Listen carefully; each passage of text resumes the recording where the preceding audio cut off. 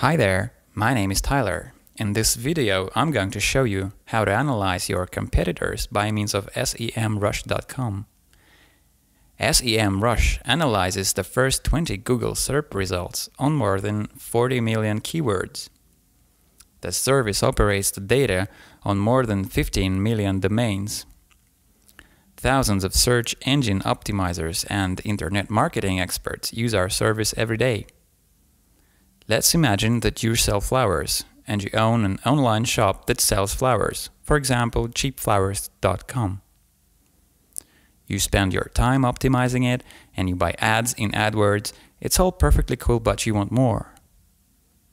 How do you know who your local competitors are? Let me show you. Enter the domain name in the search bar and click on the search button.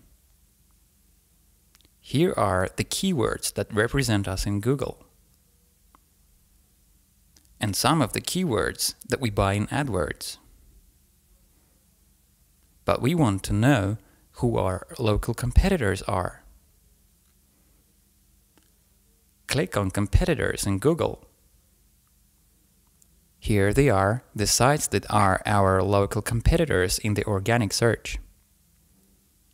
They are orderflowersdelivery.com, proflowers.com, and so on. We can see how good their search engine optimization and AdWords are. So we see that Order Flowers Delivery manages its search engine optimization in the organic search, as well as 1-800-Flowers.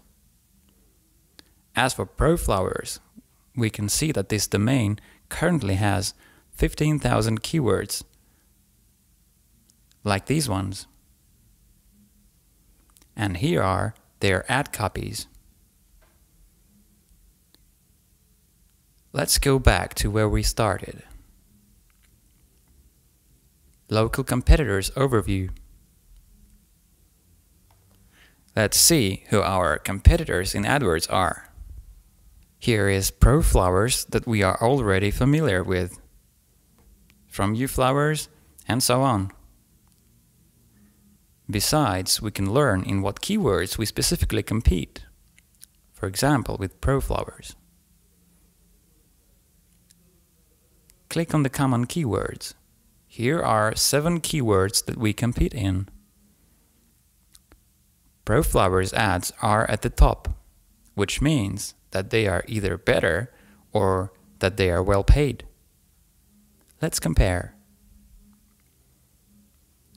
We can also learn how we compete with ProFlowers in the organic search. We have 283 common keywords. And we get higher positions for all the best keywords. It's only a small bit of how SEMrush might be helpful for you. Watch other videos to learn more about SEMrush. See ya.